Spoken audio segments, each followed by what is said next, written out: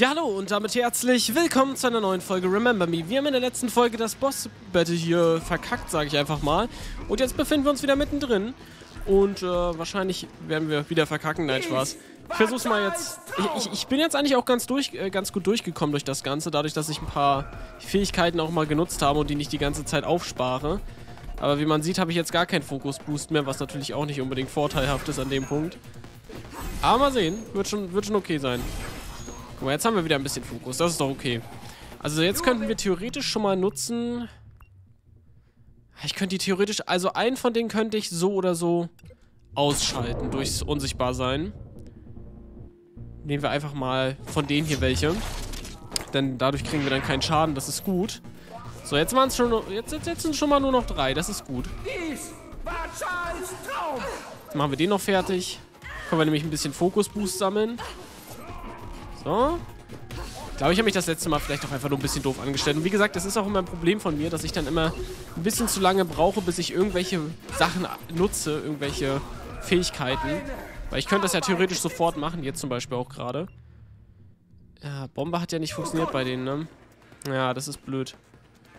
Ja, nehmen wir die Raserei, ne? Ganz simpel.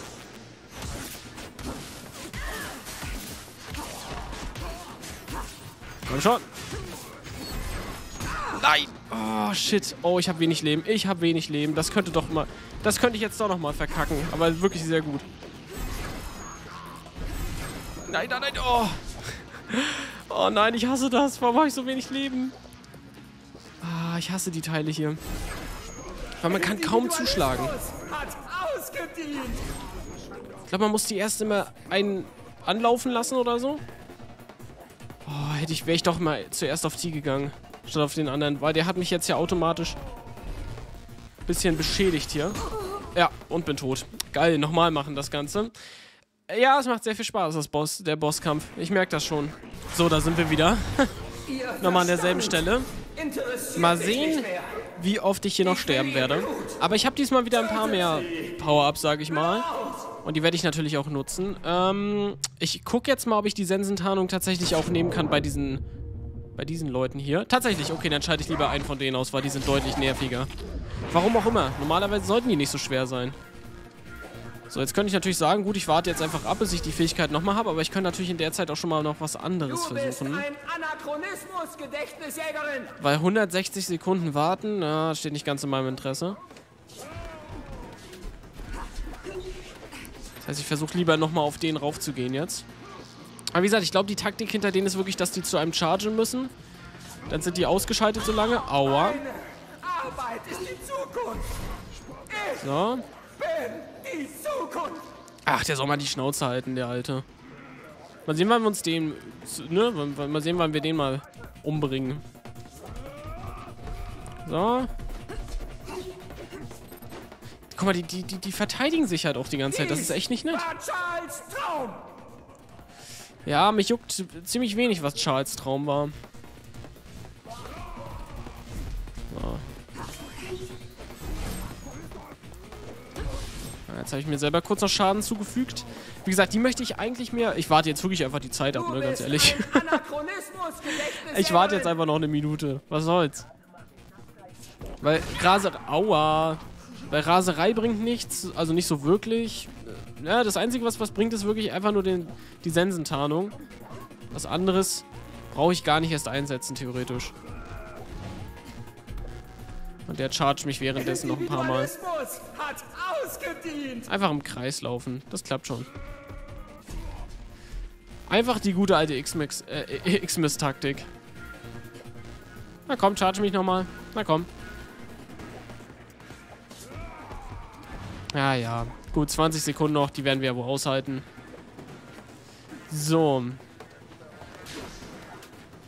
Individualismus hat ausgedient. 10 Sekunden. Und die anderen, die sollte ich dann mit einer Raserei ziemlich einfach ausschalten können, theoretisch. So, einmal kann er mich bestimmt nochmal anchargen. Nö, nicht mal das. Okay, gut, weg mit dem. Oh, wo ist, wo ist sie denn hin? Wo ist sie denn hin? Mein Kleinschädel kann nicht herausfinden, wo sie hin ist. So, gut, jetzt haben wir die. Was mich jetzt mal interessieren würde, man kann wirklich keine Bomben an die anbringen. Mir war aber mal so, ne? Hm. Na dann. Versuche ich's mal. Komm schon.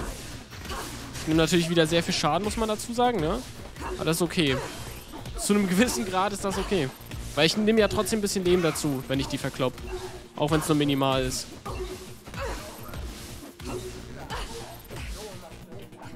So, Raserei ist tatsächlich schon wieder fertig. Oh. Ja, weil ich so viele Kombis mache, ne? Erster ist weg. Und zweiter sollte es auch sein. Sehr gut. Tja, was sagt er jetzt? Och nö. Warum mussten wir auch genau auf der Mittelplattform stehen, die zufälligerweise eine Falltür ist? Ich fühle mich hier wie bei Mr. Burns. Verhindert, dass ich meine Arbeit beende. Und du, Gedächtnisjägerin, wirst nicht länger. Äh? Äh? Nein! Nein! Nein! Nein! Oh, schön. Endlich ist der auch mal tot. Tja, Quaid. Wie fühlt es sich an, Darth Maul zu sein, sozusagen? Huiuiui. Gut, schauen wir uns erstmal den neuen Schlüssel an. Ähm, hier. Nee, warte, da. Combo Lab. Ich vergesse immer, dass man da reingehen muss. Ja, und wir brauchen eigentlich Y. Haben wir auch. Okay, sehr gut. Ich wollte nämlich gerade sagen, haben wir überhaupt ein Y zur Verfügung? Aber doch, haben wir. Sehr gut. Also. Bestätigen. Denn das wollen wir ja schließlich in dieser ziemlich großen Kombi haben. Auch wenn ich die großen Kombis eh nie mache, weil die werden irgendwie nicht ganz erkannt irgendwie manchmal und das ist komisch. Dementsprechend, ja, je nachdem. So, jetzt können wir noch ein X holen. Und dann sind wir ja schon mal zwei Schritte näher an der Ultra-Kombi. Wo, die können wir, glaube ich, jetzt sogar schon nutzen. Auch wenn die noch unvollständig ist. Ich glaube, nur in der Mitte darf nichts fehlen. Naja. Aber ja, das hat mich jetzt sehr an Star Wars Episode 1 erinnert. Den Kampf zwischen Obi-Wan, äh, Qui-Gon Jinn und äh, Darth Maul. Hatte sehr was davon. Oh Mann, ich, ich, ich muss echt mal wieder Episode 1 bis 6 gucken. Das ist eigentlich immer so ein jährliches Ritual von mir, aber das habe ich letztes Jahr nicht geschafft und ich, ich muss es mir dieses Jahr unbedingt vornehmen. Und nicht nur vornehmen, ich muss es machen, kurz gesagt. Weil gerade Episode 1 bis 3 sind einfach super. So, Quaid. Haben sie es überlebt? Oh, warte, was? Was macht dein Bad Request dort? Wusste nicht, wusste nicht, dass der auch hier runtergeworfen wurde. Ah ja, Quaid ist tot. nimm das, nimm das, nimm das. Nimm das in deine hässliche Fresse. Er hat auch eine komische Frisur gehabt, ne? Ich wusste nicht, ob das wegen Haarausfall war oder ob er die wirklich so gerne so trägt. Bad, hier ist Nilin. Hörst du mich? Wir holen dich hier raus. Quaid. Er ist mir aus dem Kopf. Danke. Ja, der ist tot. Ja. Danke, Gedächtnisjägerin. Danke für das Öffnen der Türen. Johnny Greenteeth. Sie waren nicht nur das Subjekt eines Ah, der ist das. Oder? Dr. Green? So leer. So wahr. Die Vergangenheit ist ein fremdes Land. Ich sorge dafür, dass jeder erfährt, was dir hier angetan wurde. Wir waren Monster. Aber wenigstens waren wir frei. Er wollte uns zu seinen Sklaven machen. Quaid ist tot. Es ist vorbei.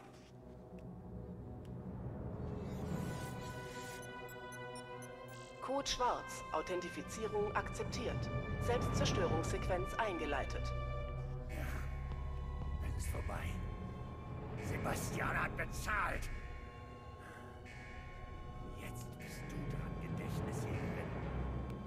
Dann gehört es mir. Und dieses ganze Grauen wird von den Flammen verzehrt. Ach nee, nicht noch ein Bosskampf. Ich hab doch gerade einen hinter mir. Aua. Och nö. ah, wieso denn noch einer? Ich habe gedacht, ich kann jetzt mal ein bisschen entspannen und so, ne? Aber das ist anscheinend, das wird mir nicht gegönnt. Sehe schon. Schlimm ist, ich habe auch richtig wenig Leben, ne?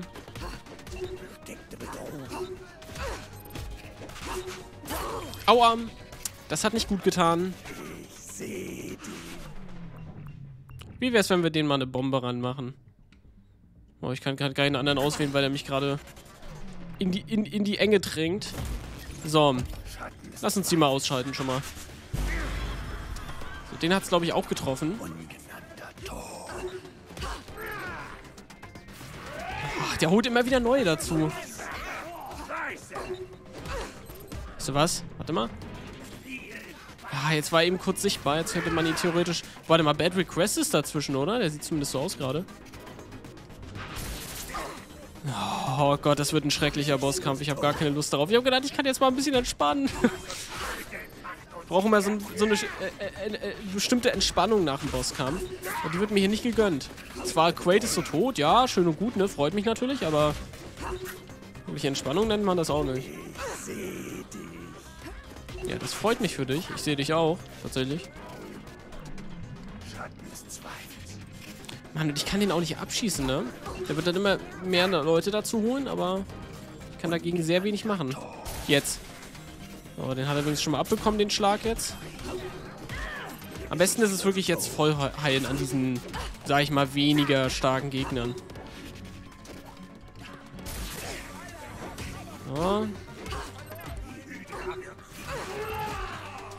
Rastet aus schon wieder.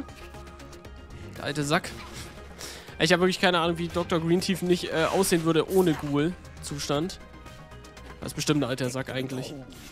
Ah, Mist, war nicht voll. Oder? Was? War es voll? Hm. Ich meine, solange er nur die Gegner holt, geht's noch. Weil an den kann ich mich, wie gesagt, sehr gut hochheilen. Und der schlägt immer nur einmal zu mit seinen, mit seinen Salatfingern. Apropos Salatfinger, ich habe gesehen, äh, Salad Fingers ist 20 Jahre alt geworden letztens. Das ist insane. Falls das jemand von euch kennt. Eine alte Flash-Animation. Ah, Mist, Mann, den wollte ich gar nicht treffen. Das ist doch einfach nur ein Unschuldiger. Theoretisch. Aber warum will der jetzt, ne? Das ist wieder so ein typischer Antagonisten-Shit, ne? Der denkt sich so, ach naja, wir schalten Quaid aus. Wir denken so, oh, der ist tatsächlich auf unserer Seite. Und dann kommt auf einmal, jetzt bist du dran. Ja, danke dafür. Tu erstmal noch so, als ob du hilfst. Ja.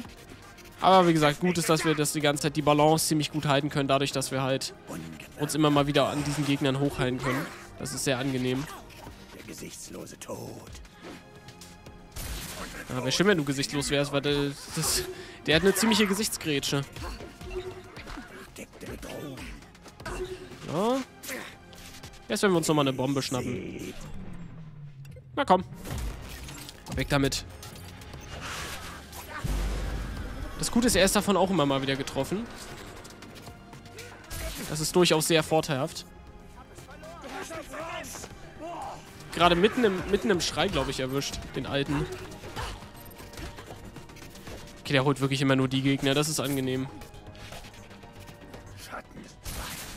Wenn wir den oft genug abschießen, sage ich mal, dann müsste der doch bestimmt auch irgendwann mal drauf gehen, oder? Würde ich mal schätzen.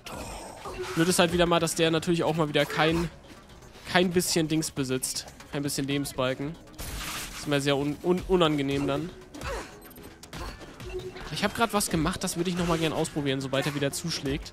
Zwar ist er, glaube ich, immer, immer verwundbar, sobald er zugeschlagen hat. Was ja Sinn ergeben würde. Aber man ist, glaube ich, nicht schnell genug. Das war, glaube ich, nur Zufall.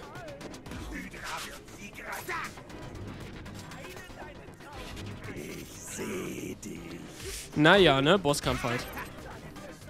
soll man dazu schon sagen. Ah, Mist. Komm, wie viel, wie viel, wie viel steckt der ein eigentlich? Wie viel steckt dieser Typ ein? Könnte ich... Warte mal, ich bin gerade auch am überlegen tatsächlich. Könnte man den nicht theoretisch überlasten mit, dem, mit der Sensenpower? Ich könnte es ja mal probieren, theoretisch. Sensentarnung. Guck mal, er ist ja jetzt aktiv gewesen. Na toll, okay. Obwohl, warte mal, das, das klebt da in der Luft. Aber ich kann es nicht aktivieren. Wait, was sehe ich denn da? Sollte ich das irgendwie bewegen? Ja, nur weil ich die Fähigkeit habe, nutze ich die jetzt mal. Ich kann die gar nicht an den Gegnern verwenden. Was eine Verschwendung. Egal. So, warte mal, was kann ich hier machen? Gar nichts. Okay, das sieht einfach nur so aus, als könnte man da was machen.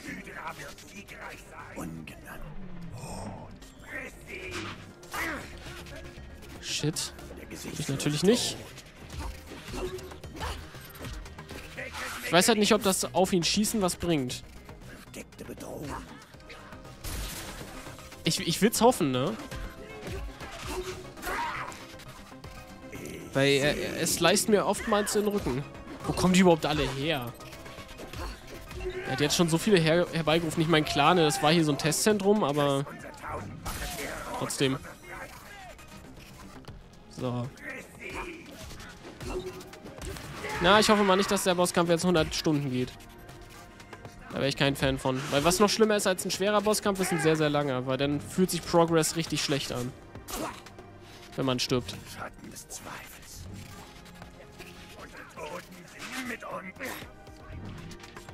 Der zeigt sich so selten. Manchmal. Ah, Dann verschwende ich immer die Fähigkeit an was Unnützen. Der gesichtslose Tod. Hm. Ja, guck mal, da kann man doch Johnny betäuben mit. Ah, die Taktik kann ich nehmen. Ah. Ah, okay, das muss ich also machen. Steh schon. Ich ignoriere mal die anderen Gegner gerade. Kann mich eh wieder hochheilen gleich. Hoffentlich. Okay, wir nehmen mal die Bombe wieder. Aber okay, das hätte mir das Spiel... äh, Stand das schon die ganze Zeit da? Bei mir kam es so vor, als ob ich das gerade das erste Mal gesehen habe. Hat der schon wieder betäubt? Oh, terminieren, let's go. Äh, oh Gott, ich musste gerade erstmal überlegen, wo die Taste überhaupt ist. das kam mir gerade sehr komisch vor. Ich glaube, ich muss gleich spammen, oder? Alter, hallo?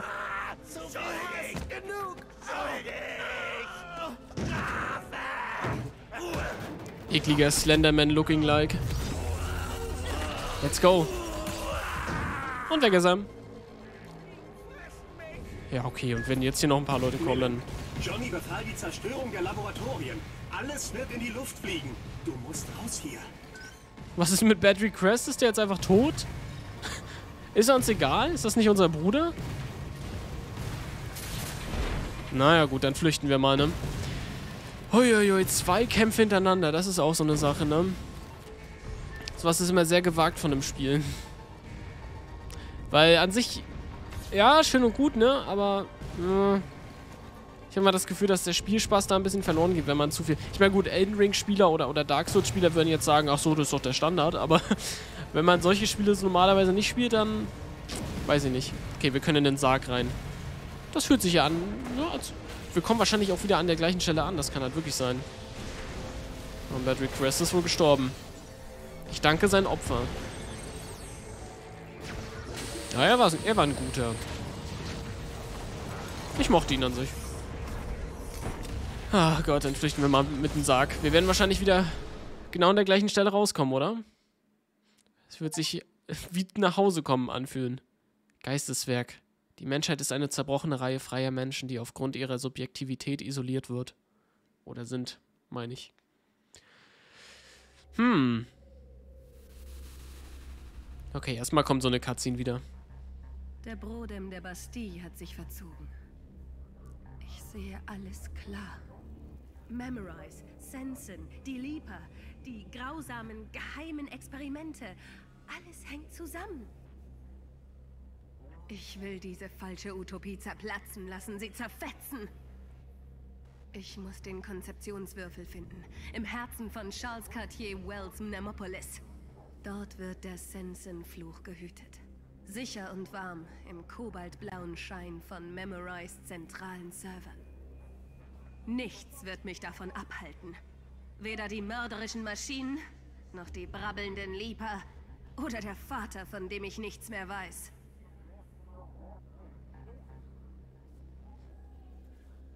Episode 7. Übrigens, ich weiß inzwischen, wie viele es gibt. Ich glaube, es gibt acht. Das verlorene Paradies. Ja, und das heißt, wir sind ja jetzt im vorletzten Kapitel gelandet. Oder in der vorletzten Episode. Mal sehen, wo wir uns jetzt aufhalten werden. Hoffentlich wieder im St. Michel-Bezirk. Oh, oh, okay. Emnopolis, okay, das, da, da waren wir noch nie. Hm, da bin ich ja mal gespannt jetzt. Das sieht sehr, sehr futuristisch aus. Finde ich aber erstaunlich, dass wir jetzt trotzdem nochmal einen neuen Spielbereich vorgeschlagen, also kennenlernen dürfen, so spät im Spiel. Ist auf jeden Fall interessant.